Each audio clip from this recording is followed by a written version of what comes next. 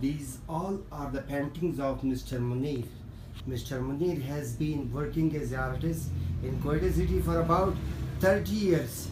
He has created some very unique and great pictures and arts. He is working now in a small shop. Though he is a poor artist, but he has a very rich art. His father was also was a artist. His father also worked as an artist for about 30 to 40 years and he was also a teacher in a Pindi college. Mr. Munir has created some of the pictures you can see. These all are the arts of Mr. Munir. These some you can see. All these are created by this man and his name is Mr. Munir and no one has appreciated his arts. Why? Because he's a poor man, that's why.